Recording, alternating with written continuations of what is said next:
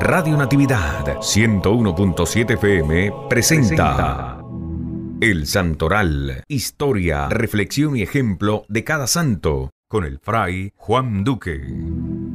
Hoy 27 de abril recordamos a Santa Cita. Era la noche de Navidad.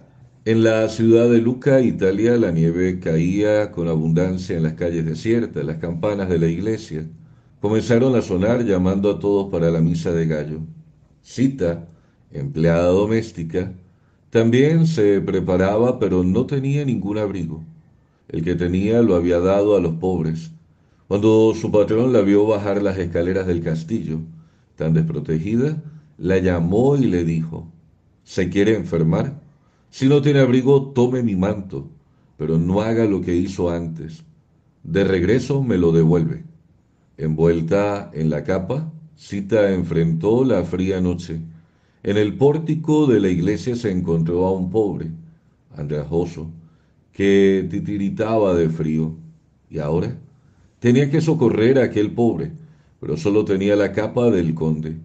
Si volvía a casa sin la capa, el hombre le pegaría un berrido de aquellos.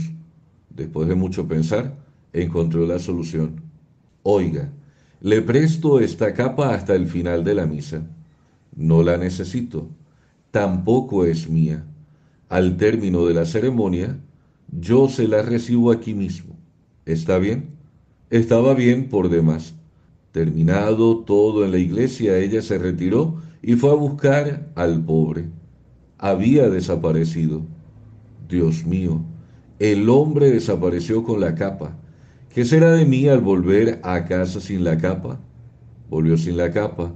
Podemos imaginar lo que sucedió entre Cita y el conde.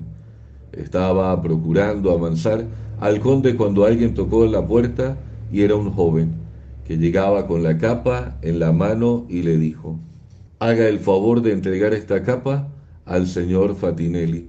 Dicen que el joven desapareció enseguida, sin decir quién era.